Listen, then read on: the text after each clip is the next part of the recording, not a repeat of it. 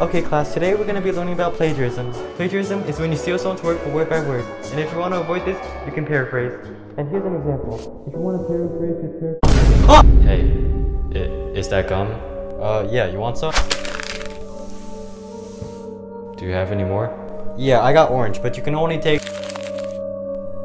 But that was my favorite flavor. Can we have some more? Oh, I ran out.